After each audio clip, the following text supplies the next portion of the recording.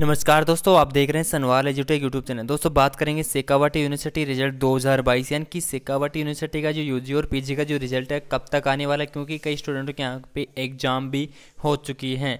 Okay तो सबसे बड़ी एक यहाँ पे गलती भी हो चुकी है। सेकावाटी यूनिवर्सिटी से कई छात्रों को यहाँ पे रिज़ल्ट पर असर पड़ने वाला है फेल भी हो सकते हैं। साथ साथ आपको बीएड के एग्ज़ाम कब होगी?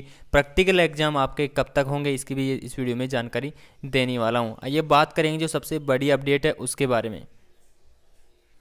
जी फ्रेंड्स, ये देख सकते हैं आपके सामने है, आज की सबसे बड़ी अपडेट है, कुलपति ने अप्रैल के शुरू होने में ही, यानी कि कुलपति ने अप्रैल के शुरू होने ही गाइडलाइंस जारी कर दी थी, फिर भी सही गाइडलाइंस प्रकाशित यहाँ पे नहीं हुआ शेखावटी विश्वविद्यालय यूजी और पीजी एग्ज़ाम में पेपर में सवाल हल करने की गाइडलाइंस यहाँ पे स्पष्ट नहीं है कि कितने आपको एग्ज़ाम में सवाल हल करने हैं, कितने नहीं करने हैं। स्टूडेंट उलझे। रिज़ल्ट पर यहाँ पे असर पड़ने वाला है, क्योंकि आपने ज़्यादा सवाल कर दिए तो आपके नंबर काटे जाएँगे, आपने कम किया है तो आपके नंबर वैसे ही कम आने वाले तो ये रहेगा रिज़ल्ट पे यहाँ पे असर पड़ने वाला है। ओके, इन उदाहरणों से समझिए, स्टूडेंट की परेशानी आपको बताऊँगा साथ साथ आपके जो प्रैक्टिकल हो या रिज़ल्ट हो, कब तक आएगा, इसकी जानकारी आपको इस वीडियो में देने वाला हूँ। यहाँ पे देख सकते हैं शेखावट यूनिवर्सिटी के जो पीजीओ कि एग्ज़ाम में साइंस कॉमर्स आर्ट्स के स्टूडेंटों को भारी परेशानी हो रही है क्योंकि हर पेपर में तीन घंटे का समय लिखा गया है और यूनिट करनी है तीन।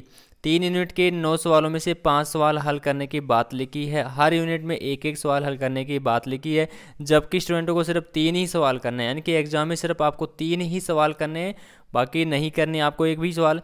कोविड के चलते यूनिवर्सिटी ने यूनिट की जो बात है वो भी हटा दी गई फिर भी एग्ज़ाम में फिर भी एग्ज़ाम में लेने वाले जो एग्जामिनर हर यूनिट में हर सवाल के करवा रहे हैं। इससे यूनिवर्सिटी के आदेशों का पालन नहीं हो रही है स्टूडेंट को पेपर भी खराब हो रहा है। इसका सीधा असर रिज़ल्ट पर यहाँ पे पड़ने वाला है। इस रिज़ल्ट पे तो पड़ेगा ही पड़ेगा सर। यूजी की एग्ज़ाम 25 मई से शुरू हुई थी पीजी की एग्ज़ाम जून में शुरू करवाई गई थी। तो इनका जो रिज़ल्ट है, जुलाई के लास्ट वीक तक आएगा। यूजी वालों का पीजी वालों का थोड़ा सा लेट आया क्योंकि एग्ज़ाम अभी भी चल रहे हैं।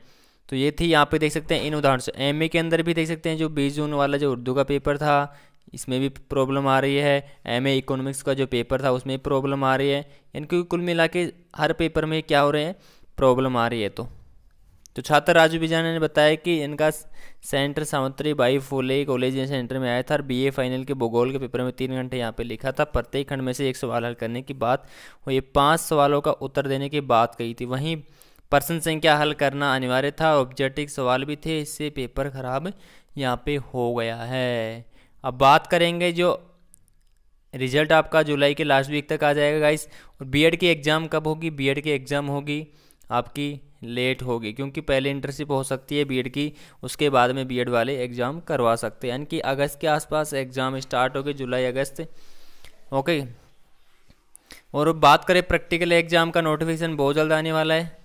पाँच से सात दिन के अंदर जो प्रैक्टिकल एग्ज़ाम है, जैसे यूजी के एग्ज़ाम पूरी कंप्लीट होने के बाद में प्रैक्टिकल का नोटिस जारी कर दिया जाएगा। तो प्रैक्टिकल का जैसे ही नोटिस आएगा तो आपको इन्फॉर्मेशन कर दिया जाएगा। ओके गाइस, और जैसे रिज़ल्ट को लेकर भी कोई अपडेट आएगी तो सबसे पहले आपको दे दी जाएगी। तो प्लीज़ लाइक, शेयर, सब्सक्राइब ज़रूर करें थैंक यू।